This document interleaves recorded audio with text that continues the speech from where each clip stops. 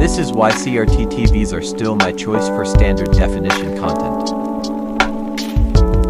Nothing beats the picture quality of real scanlines, especially in person. The colors are also extremely vibrant with buttery smooth motion and clarity.